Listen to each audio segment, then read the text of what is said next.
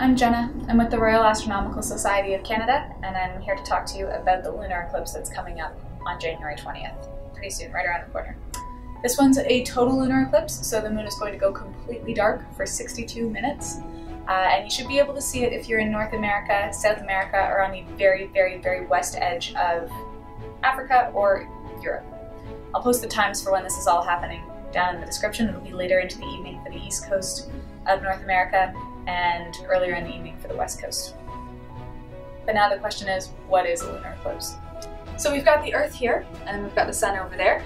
Now, normally when the Earth orbits the Sun, the Sun seems to pass along a line as the year goes on. That line is called the ecliptic. It's the line that we see through our solar system, so it's also the line that the planets appear on. And it happens to be the line that the Moon appears on as well. The Moon's not quite lined up with the ecliptic. Its orbit is about 5 degrees off the ecliptic, so because of that, we do get full moons. If the orbit of the moon was directly lined up with the orbit of the Earth, every single full moon, we'd have a total lunar eclipse. But it's not. We only get lunar eclipses about three times a year maximum. And in this case, it's a, full, a total lunar eclipse, so what's going to happen is the moon's going to come around behind the Earth and start to go into the Earth's shadow. It'll spend about 62 minutes in the shadow. At, at some points it'll look a little red, uh, and we'll get to that later. Then it'll pop out the other side and light up again. And at that point, it will be almost a full moon. Not quite, but very close. So I'm going to show you things from a bit of a different perspective. You're on the moon. I've got sun right behind me here, and I've got the Earth in the middle. This is how it always is on lunar eclipses. The moon's on one side, and the sun's on the other.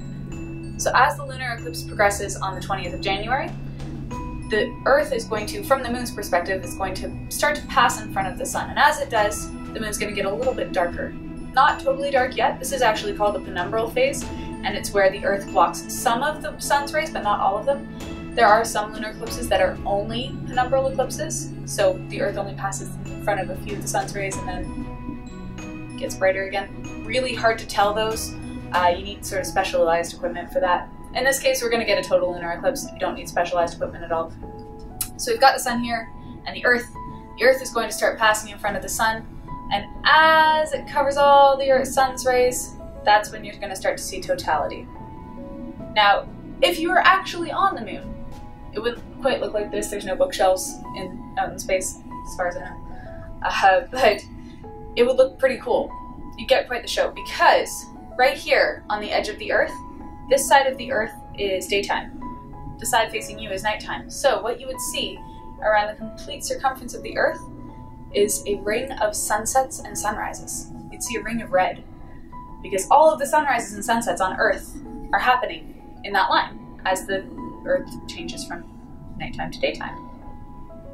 So you'd see that big ring of red all around the Earth, and in fact, actually, that's why during lunar eclipses the moon sometimes turns red, is because the light from those sunrises and sunsets bends around the Earth, it scatters, and it hits the moon. The blue light, all the other colors of light get scattered away, but the red gets scattered towards the moon. So we'll be here for a little while, 62 minutes, and then the Earth will start to pass the sun. The sun's going to come back out, and eventually the moon will be back to an almost full moon shortly afterwards.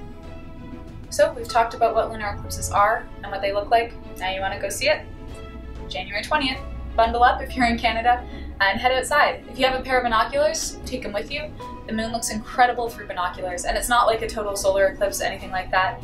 You can still look at the moon without any eye protection at any time, even in a lunar eclipse. If you can, if you're near an RASC center, I'll leave the list of where those are in the description. See if anyone's running an event. You might get to meet a whole bunch of astronomers and people who can really help you out finding the moon and seeing the moon and talking about the different objects on the moon.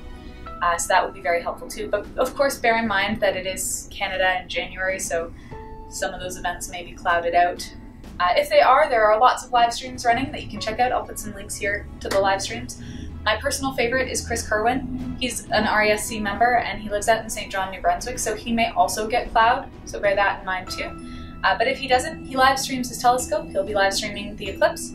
Um, and hey, if you want to check it out beforehand too, he live streams the moon quite a few times uh, during the during the month. So take a look at his live streams. He has, has great narration and tells you all about what's up there on the moon. Thank you all for joining us. If you have any questions, please feel free to leave them in the comments below, and I'm happy to answer them uh, as they come up.